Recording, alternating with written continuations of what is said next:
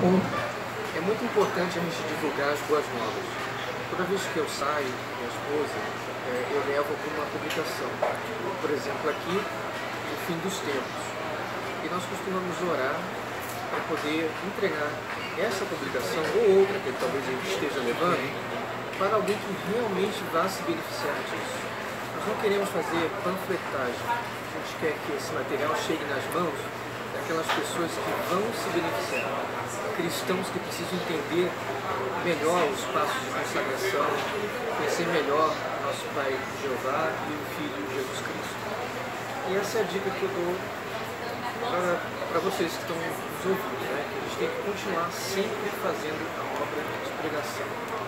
O campo é o mundo. Então não importa onde você esteja, se tiver uma oportunidade, aproveite. Um abraço.